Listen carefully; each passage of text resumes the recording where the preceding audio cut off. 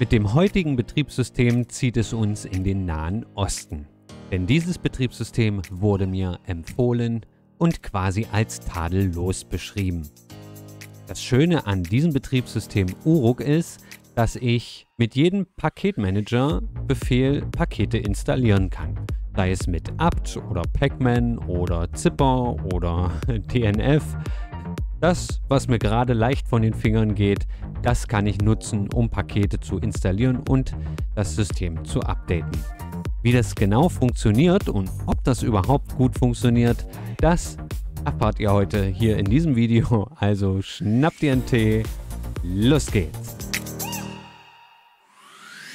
Einen wunderschönen sonnigen Sonntagnachmittag. Es ist wieder Sonntag, Zeit für Sonntags-OS und heute führt es uns in das Land zwischen Euphrat und Tigris, nämlich in den Irak. Heute installieren wir Uruk und aufmerksam geworden bin ich darauf äh, durch einen Nutzer unter meinem letzten Video mit dem Namen voraussichtlich gestern und äh, er hat beschrieben, dass er Uruk ausprobiert hat und äh, ja, beschreibt es als das Ding ist der Hammer, schnell wie Sau, für mich super schönes Aussehen, funktionell, Bedienung eine 10. Das Minus muss ich noch suchen, wenn ich es finde, melde ich mich nochmal. Und äh, das hat mich natürlich sofort inspiriert, mir Uruk einfach mal anzuschauen und äh, da ich gestern aber keine Zeit mehr hatte, mir das anzuschauen, wird es auch für mich jetzt hier eine Premiere. Das heißt, ich habe das System noch nicht heruntergeladen, noch nicht ausprobiert, noch nicht angeguckt. Das machen wir jetzt zusammen. So, auf uroprojekt.org äh, finden wir dann das System. Wenn man auf die Seite geht, wird man erst zu einer Sprachauswahl äh, umgeleitet. Man kann auswählen zwischen Arabisch und Englisch. Ich nehme jetzt einfach mal Englisch und äh, dann hat man hier wirklich eine wunderschöne Seite mit einer Vorschau. Hier findet man dann auch einen, ja, eine Aussprachehilfe, eine Audiodatei, die äh, beschreibt, wie man Uruk richtig ausspricht. Uruk. Okay, so wird es also ausgesprochen. Und äh, ja, dann hat man hier so die Schlagworte, warum, äh, use, äh, warum soll Uruk genutzt werden. 100% äh, ja, freie Software. Es wird also keine proprietäre Software mitgeliefert. So, volle Kontrolle, einfach zu bedienen. So, dann, jetzt wird es interessant. Das hat mich schon ein bisschen äh, mehr interessiert. RPM-Pakete können äh, ziemlich einfach installiert werden. So, es gibt keinen äh, Grund, seinen äh, Arm zu verdrehen. Einfach ins, ins Terminal U-RPMI gefolgt von, der, von dem Dateinamen äh, eintragen und dann wird das RPM-Paket installiert. Und das gleiche ist mit Quelldateien oder Source, ja, Quelldateien. Einfach in das Terminal u-src eingeben, gefolgt von dem Namen was man eben bauen möchte. Und dann macht er alles von alleine. Das ist auch ziemlich spannend. Aber jetzt kommt noch der dritte Punkt. Nutze die Kommandos eines jeden Package Managers. Mit äh, dem Package Managers Simulator kannst du jeden populären Package Manager quasi simulieren und die Kommandos verwenden. Also als populäre Paketmanager sind eben gemeint apt, also was, was bei Debian und Ubuntu apt ist oder Pacman bei Arch, Zipper, DNF und so weiter und so fort. Das, darauf freue ich mich schon, da ein bisschen rumzuspielen. So, Uro gibt es noch als Docker-Container. Und ja, hier kann man dann noch äh, mitmachen quasi oder den Entwickler kontaktieren und ja, das war's. Und hier kommen wir jetzt zum Download. Da klicke ich einmal drauf. So, und während der am Runterladen ist, äh, schauen wir mal noch äh, ganz fix weiter. Es gibt hier noch einen Blog. Äh, auch hier kann man dann noch neben Englisch und Arabisch noch Französisch auswählen, wer das lieber mag. Und dann kann man sich dann hier äh, ja die Blogposts entsprechend durchlesen. Hier gibt es noch einen äh, Link zum äh, Uruk Wiki. Allerdings funktioniert dieses Wiki scheinbar nicht. Hier gibt es einen Fehler. Von Cloudflare hat hier äh, einen Fehler 502 zurückgeworfen, was meistens bedeutet, dass der Server, wo hier das Wiki drauf liegt, falsch konfiguriert ist. Das bedeutet Fehler 502. Vielleicht wird das noch behoben, vielleicht auch nicht. Wir wissen es nicht. Dann, ähm, was mir aufgefallen ist, ist hier unten ein Twitter-Handle namens äh, @idiot oder @idiot. Allerdings ist dieser Account gesperrt. Nun weiß ich nicht, ob der Entwickler das hier versehentlich im Template dieser Blogseite einfach ver vergessen hat anzupassen oder ob er da selber ein bisschen trollt. Ah, wer weiß, wer weiß. Wir wissen es nicht. So, als nächstes äh, Etcher. Denn, äh, wie gehabt, installiere ich hier Betriebssysteme mittlerweile nur noch auf echter Hardware. Bei meinen Reviews nur noch ganz selten oder gar nicht mehr auf virtuelle Maschinen. So, hier habe ich meinen SanDisk. Einmal flashen und Passwort rein. Und dann heißt es kurz abwarten. Ja, es dauert immer ein bisschen länger, wenn man das Ganze auf echter Hardware hat. So, und während wir darauf warten, dass äh, der USB-Stick geflasht wird, möchte ich die Gelegenheit schnell noch nutzen, um nochmal auf meine Social-Media-Accounts entsprechend aufmerksam zu machen.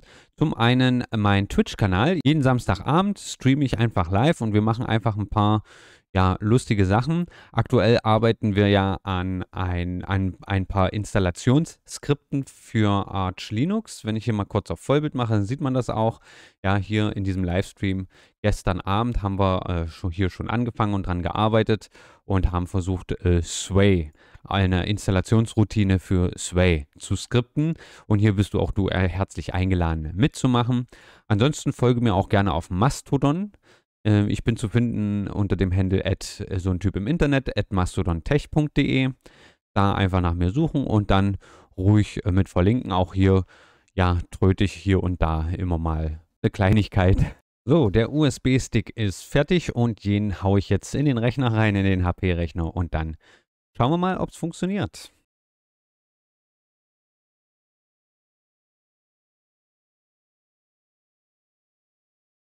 So, sehr gut.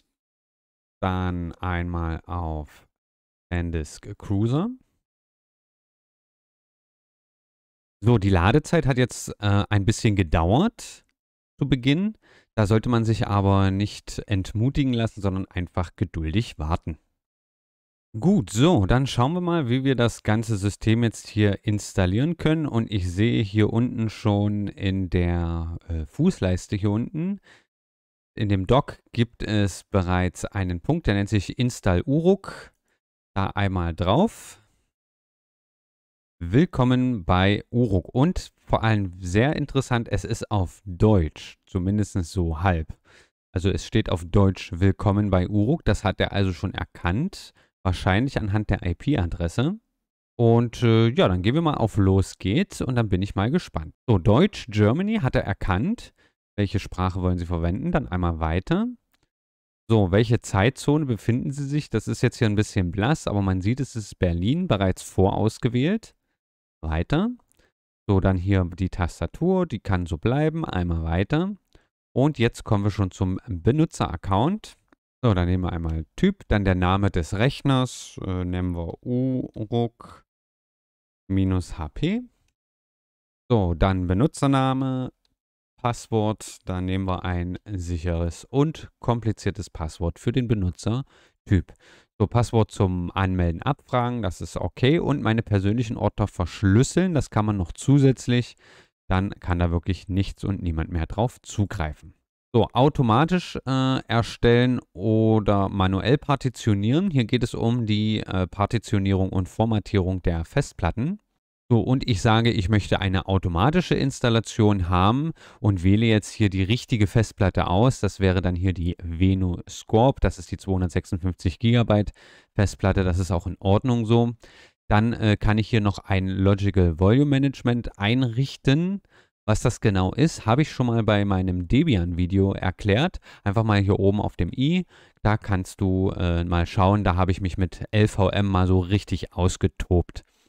Und dann haben wir noch die Möglichkeit dann, das, äh, die Festplatte entsprechend zu verschlüsseln. So, dann einmal weiter. So, soll die Festplatte gelöscht werden? Ja, das ist in Ordnung. So, dann wird das Grub-System installiert auf SDA. Dann einmal weiter. Und dann sind wir soweit durch und wir können einmal auf Installieren. So, bei der Installation habe ich einen kleinen Fehler gemacht. Was jetzt hier in dem Video nicht mit drauf ist, ist, dass ich die gesamte Installation nochmal von vorne machen musste. Bei der Installationsroutine wird äh, nach Festlegen der Festplatte gefragt, wohin grub installiert werden soll. Und ich hatte ausgewählt slash dev slash sda. Das ist aber bei EFI-Systemen gar nicht möglich, dass das grub eben auf die vollständige Platte geschrieben wird, sondern der grub Bootloader muss auf eine eigene Partition geschrieben werden. Ergo hätte ich an dem Punkt SDA 1 auswählen müssen. Das habe ich nicht gemacht. Ich habe SDA ausgewählt und damit ist zwar die Installation aus irgendwelchen Gründen durchgegangen, aber es ist nachher nicht gestartet. Es ist kein Bootloader installiert worden und das Dateisystem SDA 3 ist auch gar nicht erst erstellt und erkannt worden.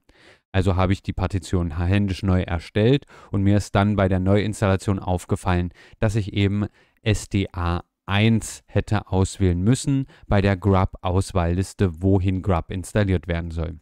Das nur noch mal als kleines Wort der Warnung, auch an euch, wer das Ganze nachinstalliert, da bitte genau schauen, dass ihr grub genau auf die EFI-Partition oder also beziehungsweise auf die Boot-Partition installiert. Solltet ihr mehrere Festplatten haben, dann schaut, welche Festplatte ihr dann auswählt und bei dieser Auswahl immer die erste Partition nehmen, denn die erste Partition ist immer die Boot-Partition. Also das kann SDA 1 sein, das kann HDA 1 sein und so weiter und so fort. So, die Installationsroutine war schon mal sehr, sehr gut, sehr, sehr einfach und intuitiv, nichts Kompliziertes. Und jetzt hatten, haben wir jetzt hier die Möglichkeit, uns schon mal mit dem Betriebssystem selber vertraut zu machen, während die Installation läuft. Das machen wir jetzt aber nicht, sondern wir warten erstmal ab, bis die Installation durch ist. So, die Installation ist durch und wir können den Rechner neu starten. So, und hier ist auch das äh, Grub-Menü sehr schön gestaltet. Sieht sehr, sehr gut aus. So, dann starten wir mal Uruk. So, hier haben wir dann unseren Login-Bildschirm. Sieht sehr, sehr schön aus. Sieht nach äh, LightDM aus. Auch sehr schön gestaltet, sehr schön designt. Kann man nicht anderes sagen. So, und dann schauen wir mal, wir haben hier zwei Sessions. Einmal die Kodi-Session, das ist sehr interessant. Und einmal Mate, und wir äh, loggen uns ganz normal in die Mate-Session ein. So, mit dem Passwort und dann sind wir auch schon drin. Der erste Start dauert immer ein kleines bisschen länger. Hier äh, werden wir jetzt begrüßt mit einem Welcome-Bildschirm. Und hier haben wir schon ein paar äh, Sachen, die wir uns hier anschauen können. Zum einen haben wir hier einen Punkt Hardware. Den möchte ich mir mal anschauen. Und hier werden wir umgeleitet auf äh, h-node.org. Hier kann man dann die passende äh, Hardware raussuchen, die eben passend ist zu äh, freier Software. Denn freie Software bedeutet, es ist keine proprietäre Software drauf. Mitunter kann es passieren, dass zum Beispiel WLAN und so weiter nicht funktioniert. So, dann haben wir hier einen Punkt, der nennt sich Apps. Hier werden wir jetzt gebeten, ein Passwort einzugeben und dann kommen wir zur Synaptics Paketverwaltung. Und das ist tatsächlich nichts anderes als ja, das apt-System. Und hier kann man ähnlich wie bei Debian oder Ubuntu über die Synaptics Paketverwaltung die Programme installieren, die man so haben möchte. So, hier geht es dann noch äh, zu einem Forum. Und zwar zu dem Forumbereich von Trisquel Linux, also trisquel.info. Und dann geht es in, den Unter, in das Unterforum General Free Software Talk. Das heißt, es gibt kein eigenständiges Forum für Uruk, sondern die verweisen dann direkt auf den Free Software Part von Trisquel Linux. Unter dem Punkt Getting Involved kann man nochmal nachlesen, wie man selber eben mitmachen kann, was man tun kann um äh, entsprechend mitzuwirken. Zum einen äh, einfach das, über das Betriebssystem reden und an Familie, Freunde, Verwandte, Bekannte verteilen, Bugs melden, ähm, Empfehlungen aussprechen für äh, Verbesserungen in den Foren ein bisschen mithelfen, Übersetzungen anbieten, das Design äh, mit anpassen, mitgestalten oder eben direkt am Quellcode mitwirken. So, dann haben wir hier noch einen Link zur Free Software Foundation direkt was äh, GNU betrifft. Und da merkt man eben auch, äh, wohin hier die Reise geht. Bei äh, Uruk Linux geht hier wirklich um ausschließlich freie Software. Jetzt kommen wir zum ersten Systempunkt, nämlich zum System-Update. Ich habe da jetzt drauf gedrückt, aber da ist jetzt nicht viel passiert. Er hat wahrscheinlich einfach nur die Spiegelserver synchronisiert, aber kein System-Update durchgeführt. Das ist auch erstmal nicht so schlimm. Und hier haben wir noch das äh, Kontrollzentrum. Das sind im Prinzip die Einstellungen, die ganz normalen Systemeinstellungen für Mate für, das für den Mate Desktop. Gucken wir uns aber gleich noch separat an. Und zu guter Letzt haben wir hier noch den Bug Report. Hier werden wir dann auf eine Seite weitergeleitet, die leider nicht mehr existiert. Das ist sehr, sehr schade. Gut, sei es drum. Dann schließen wir mal den äh, Welcome Screen und schauen mal hier an, was wir jetzt hier so auf der Startseite sehen. Hier steht Uruk 3.0. Das ist der USB-Stick, der jetzt noch drin ist. Und dann haben wir hier unten den Firefox. Das ist Firefox ESR.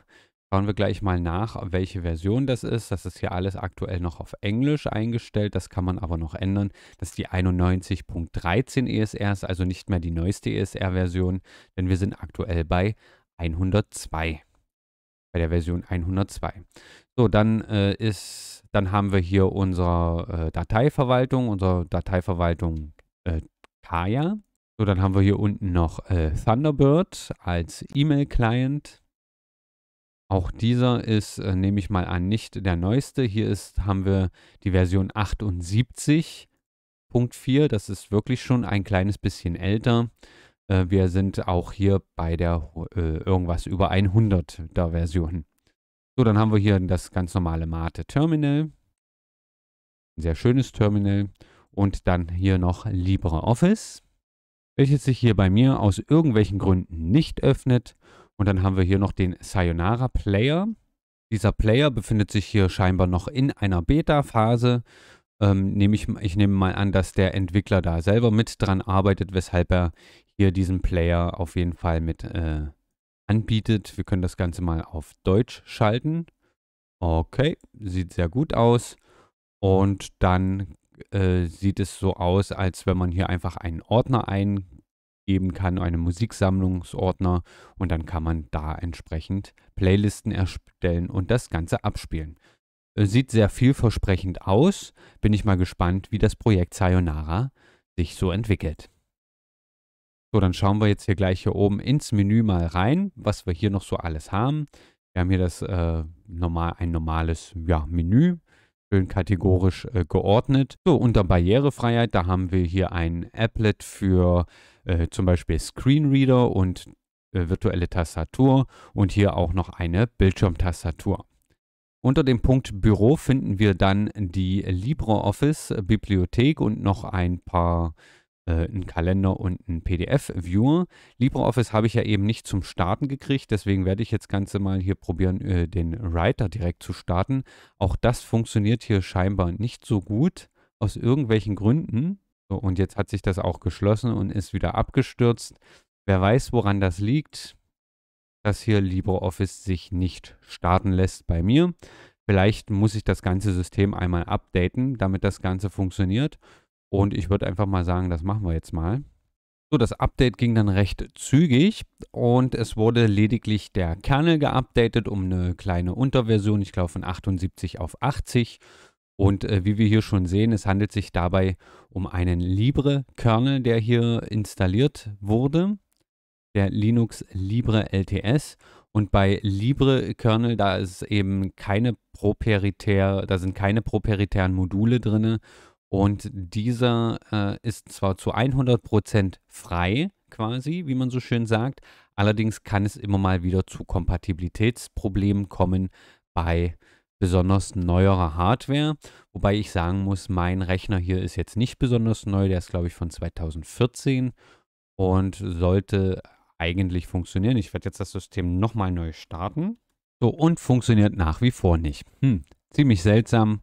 Wer weiß, woran es liegt. Vielleicht kriege ich das Ganze ja noch raus. Schade, schade. So, wir machen mal weiter. Dann gibt es hier noch die Einstellungen. Da gibt es dann diverse Einstellungen. Äh, zum Beispiel zum Erscheinungsbild, Energieverwaltung, besonders dann, wenn man ein Notebook hat, ist es sehr, sehr wichtig. Dann gibt es noch Mate Tweak und die Fensterverwaltung. So, unter Grafik finden wir zum Beispiel GIMP, ist bereits hier schon vorinstalliert und dann noch ein paar andere äh, grafische Sachen. Schauen wir mal, ob GIMP startet. GIMP scheint gut zu starten. Das ist dann hier auch die Version 2.10.22. Wir können mal auf Aktualisierung prüfen. Und äh, hier sehen wir auch, dass äh, GIMP ebenfalls mit der Version ein paar Versionen hinterherhängt. Obwohl ich gerade ein Update gemacht habe, ist, äh, sind keine weiteren Updates verfügbar. Und hier ist ja das, äh, letzt, die letzte Version bereits im Juni veröffentlicht worden. Jetzt öffnet sich hier der Download-Button. So, brauchen wir jetzt aber erstmal nicht. So, unter Internet finden wir einmal unseren Firefox, einen Chat und eben auch äh, den Thunderbird. Dann gibt es einen BitTorrent-Client namens Deluge und hier haben wir noch einen Download-Helper, äh, quasi äh, UGET.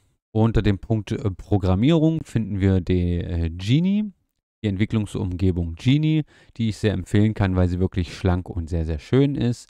Bei Systemverwaltung können wir einmal die Uhrzeit und den Anmeldebildschirm äh, einstellen und auch die Synaptics Paketverwaltung öffnen. Unter System Werkzeuge finden wir einmal hier die Aktualisierungsverwaltung und der Updater äh, läuft hier oben in Form eines äh, Schildes und da können wir hier dann auch die ja, Einstellungen noch durchführen. Wir können hier zum Beispiel auch ein Full Upgrade machen lassen. So, dann äh, können wir das einfach mal hier machen und äh, gehen wir mal auf Status. System ist up to date und hier können wir jetzt nochmal das System-Update erzwingen und das scheint aber tatsächlich up-to-date zu sein, das System. So, dann haben wir hier noch den GDebi-Paket-Installer, um eben DEP-Pakete zu installieren. Departed ist drauf, ein Image-Mounter, Systemüberwachung und Timeshift. Und dann gibt es hier noch den Uruk Cleaner. Auch der Uruk Cleaner ist ein eigenständiges Programm vom Entwickler von Uruk, äh, sieht optisch ein bisschen anders aus als jetzt die anderen Uruk-Programme. Und da können wir hier einfach auf äh, Clean klicken. Da können wir zum Beispiel den Cache lernen, Thumbnails, den Firefox Cache, unnötige Pakete entfernen und Systemlogs. Und dann einfach auf Clean, okay. Und dann war es das auch schon. Und dann können wir das Ganze hier schließen. Geht also ganz schnell und ganz einfach. So unter Ton und Video finden wir einen äh, Konverter, einmal Kodi. Ja, Kodi ist quasi ein Media Center, sowas ähnliches wie eine Smart TV Oberfläche könnte man sagen. Wer also haufenweise ja, ähm, Musikvideos und Filme auf seinem Rechner hat, kann das Ganze über Kodi dann entsprechend äh, anschauen und Kodi lässt sich entweder mit der Maus oder auch äh, komplett mit der Tastatur bedienen. So, wir gehen mal wieder raus, einmal hier und dann Exit. So, neben Kodi haben wir dann noch den Sayonara Player und VLC Media Player. So, unter Zubehör finden wir hier Caffeine. Caffeine verhindert, dass sich der Bildschirm ausschaltet oder dass sich ein Bildschirmschoner einschaltet. Das heißt, er zwingt quasi den Rechner wach zu bleiben. Deswegen äh, Caffeine. Hier haben wir ein Hashing-Tool noch. Schriftanzeige, äh, PyCom, Plank ist im Prinzip hier unten. Dieser, äh, dieser Dock hier unten, das ist der Plank-Dock. Äh, dann gibt es noch Pluma als, als Texteditor, ein ganz einfacher Texteditor. Und äh, das es im Prinzip schon. Und dann haben wir zum Schluss noch das Kontrollzentrum. Im Großen und Ganzen ist das erstmal ein schönes, schlankes System. Ich bedauere das ein bisschen, dass die Office-Bibliothek nicht funktioniert und vor allem, dass die äh, Software etwas veraltet ist und nicht sehr neu ist. Wir schauen jetzt mal erstmal noch ganz fix bei den Hintergrundbildern, ob hier ein paar schöne Hintergrundbilder zu finden sind. Ich nehme mal an, da sind hier die Mate Standard-Hintergrundbilder. Das sieht ganz danach aus. Ich weiß, es ist jetzt gerade ein bisschen klein, aber das passt schon. Es gibt allerdings hier einen Uruk-Bildschirm. So, den nehmen wir jetzt hier auch. Und dann haben wir hier Uruk GNU Linux äh, Standard. Ich finde das auch sehr, sehr gut. So, als nächstes schauen wir uns mal den ja, Paketmanager Simulator an. So, wie wir ja bereits wissen, ist hier auf dem System die Synaptics Paketverwaltung drauf. Und das bedeutet auch, dass apt der Standard-Paketmanager ist, der hier hinterlegt ist. Das ist auch kein Wunder, so basiert doch dieses Betriebssystem Uruk auf PureOS und Trisquel. Updates kann ich ganz einfach durchführen mit sudo apt update und dann werden die Paketlisten aktualisiert. Wer äh, von einem anderen Betriebssystem wie zum Beispiel Red Hat oder Fedora und so weiter kommt, der ist es vielleicht gewohnt, einen äh, anderen Paketmanager immer zu nutzen, äh, welches ihm dann auch leichter von den Händen geht. Und das funktioniert hier genauso. Einfach eingeben sudo und dann zum Beispiel dnf Upgrade durchführen und schon funktioniert das im Prinzip ganz genauso. Ohne dass man hier jetzt irgendwas anderes noch machen muss, kann man das einfach so eingeben.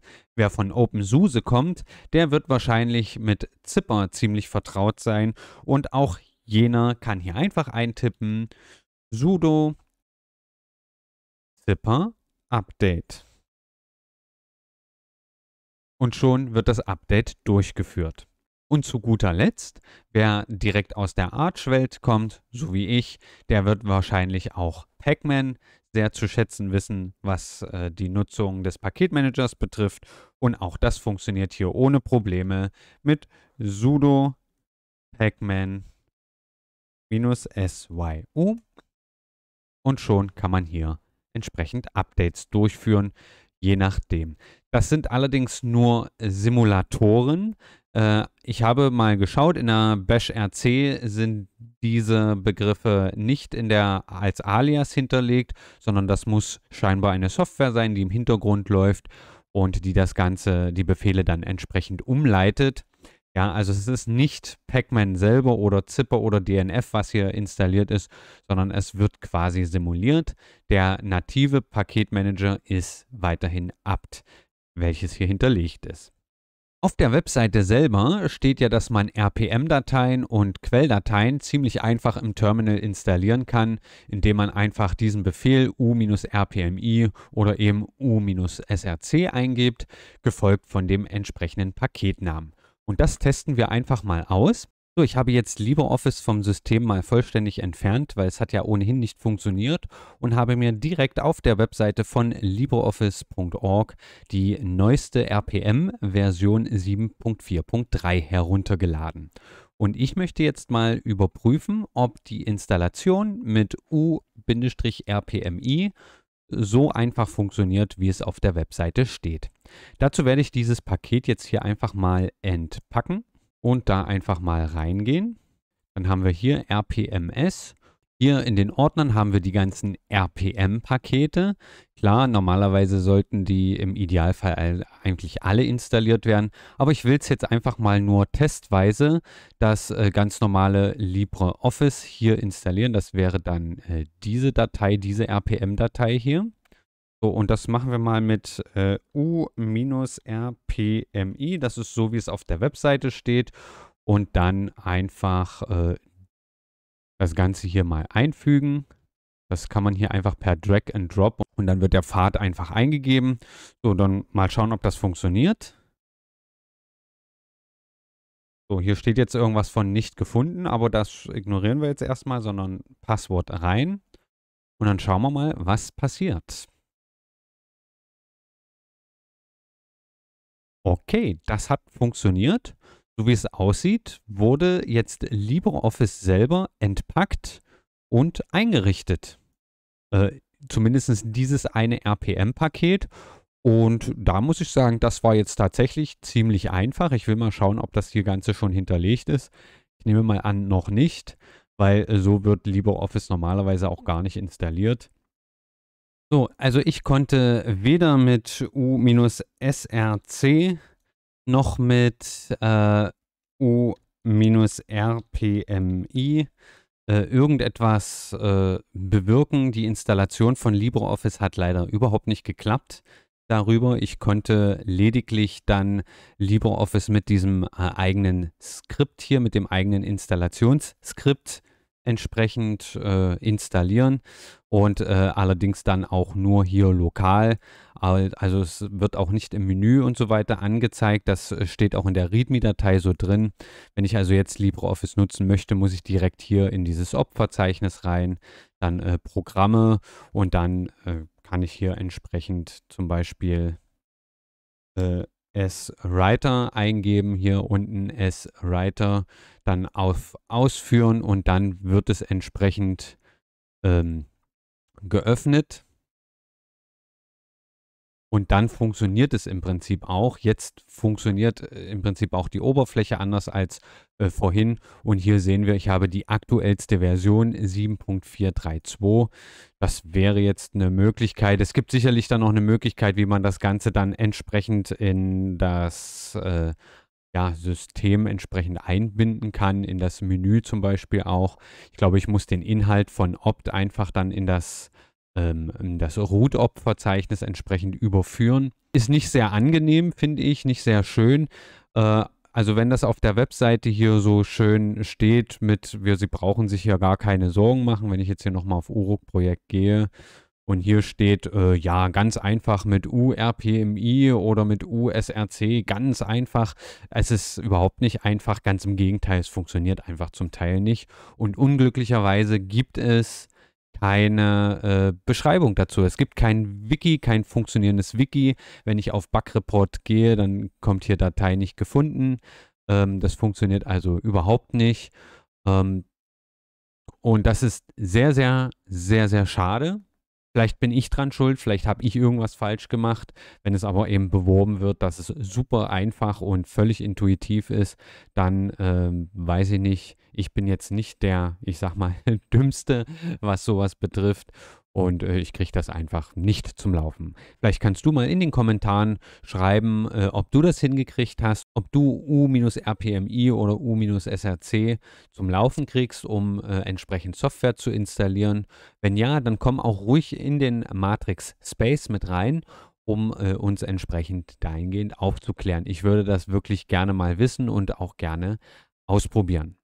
So, was gibt es abschließend noch zu Uruk OS zu sagen? Ähm, was das System selber ist äh, sehr flott, sehr stabil. Die Installation ist auch super einfach, lässt sich also wunderbar nutzen als Alternative zu Debian zum Beispiel oder anderen Systemen, die eben ausschließlich freie Software auch verwenden. Äh, ein bisschen enttäuschend ist, dass es keine gute Dokumentation gibt. Es gibt kein äh, gut gepflegtes Wiki und ein Bug-Report ist ebenso nicht mehr möglich oder gar nicht möglich, da diese Seite generell gar nicht existiert. Die RPM und Sources Installation hat bei mir nicht funktioniert. Das muss aber jetzt nicht heißen, dass das äh, generell nicht funktioniert, sondern nur, dass ich das vielleicht nicht richtig gemacht habe. Da wirst du mir aber sicherlich auch helfen können.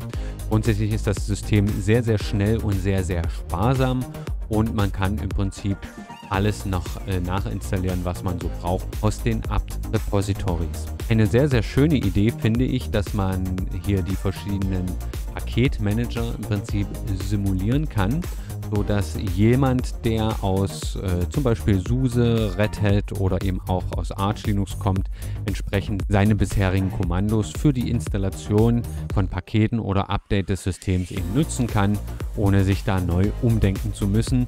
Ist nettes Spielzeug. Ob das jetzt richtig notwendig und genau sinnvoll ist, das muss, glaube ich, jeder ein Stück weit für sich entscheiden. Aber was weiß ich schon? Ich bin ja nur so ein Typ im Internet.